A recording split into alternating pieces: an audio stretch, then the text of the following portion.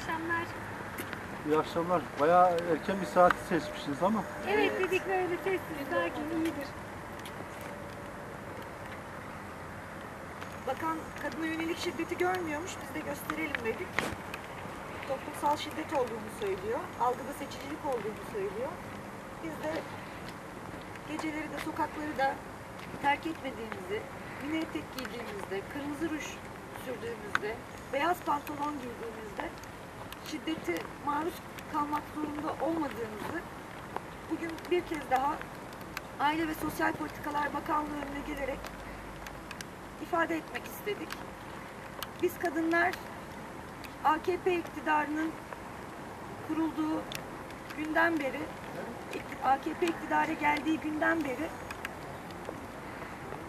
her türlü kadın düşmanı söylemle karşı karşıya kaldık.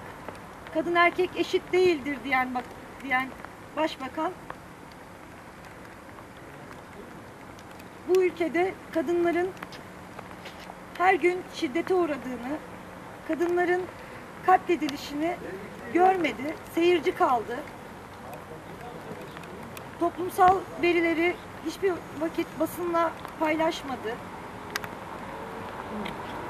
Münevver Karabulut öldüğünde ya davulcu ya zı- ya zurnacıya dedi.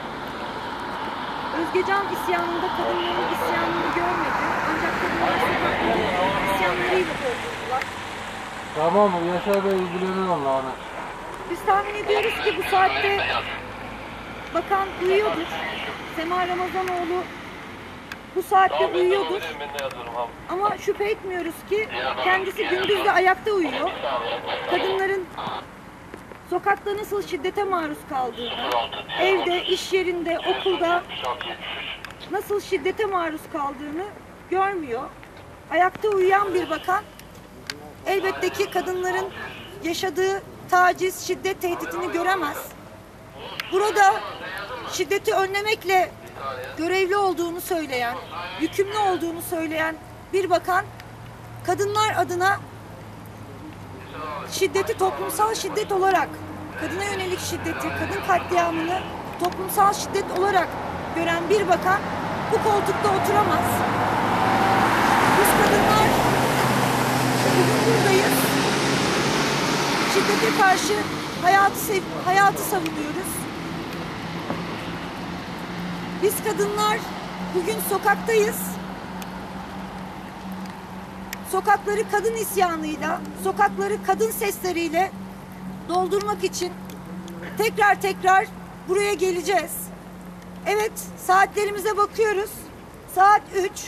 Tam da gericilerin AKP'nin, kadın düşmanlarının bu saatte kadın sokakta gezer mi dediği bir saatte sokaktayız. Evet, bizler eşitlik istiyoruz. Bizler özgürlük istiyoruz. Bunun için gece demeden, gündüz demeden direnmeyi tercih ediyoruz. Bunun için sonra kadınların hayatlarını savunmak için günün her saatinde, her anında kadın düşmanlarının karşısına direnişle çıkacağını göstermek için geldik. Bu geceden sabaha kadınlar direnişle çıkacak. Her geceden sabaha kadınlar yaşam hakkıyla uyanacak. Yarınlar kadınların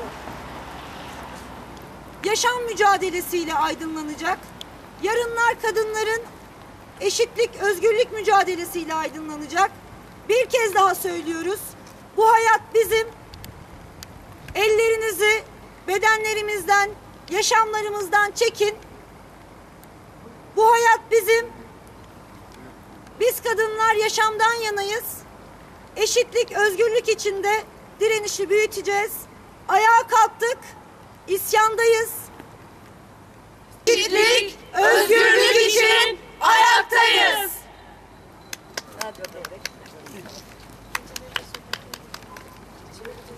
Geceleri de sokakları da terk etmiyoruz. Geceleri de sokakları